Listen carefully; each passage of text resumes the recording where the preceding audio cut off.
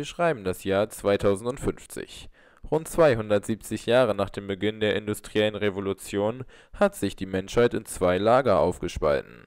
Die Klimaschützer unter Leitung der als Zeitreisende jung gebliebene Greta Thunberg und die Klimagegner unter Leitung des senilen Rentners Donald... Äh, ist er nicht schon tot? How dare you? How dare you?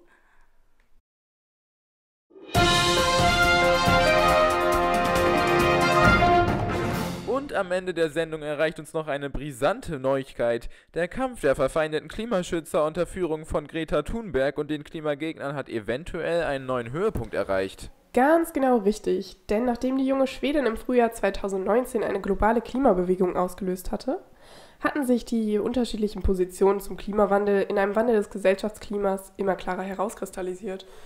Zwar konnte die Irreversibilität des Klimawandels mit dem Erreichen der 1,5 Grad Klimaziele vom Anfang des Jahrhunderts im Jahr 2033 vorerst noch aufgeschoben werden, doch noch immer kämpfen beide Parteien verzweifelt um die Gunst und den Aktivismus der Menschheit.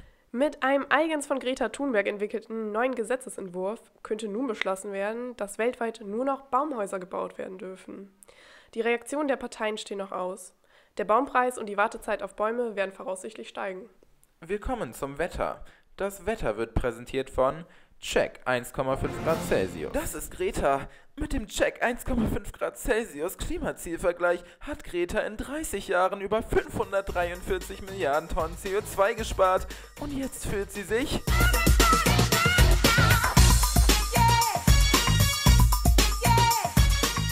Fühl auch du dich Check 1,5 Grad Celsius mit dem weltweit größten Nachhaltigkeitsvergleich.